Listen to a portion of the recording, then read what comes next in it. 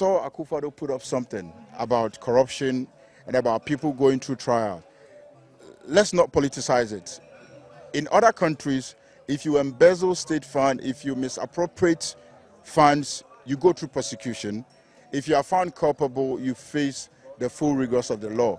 Let's learn to be a lawful nation. Let the law take control. I believe if Ghana becomes a very lawful nation, a lot of things will go well.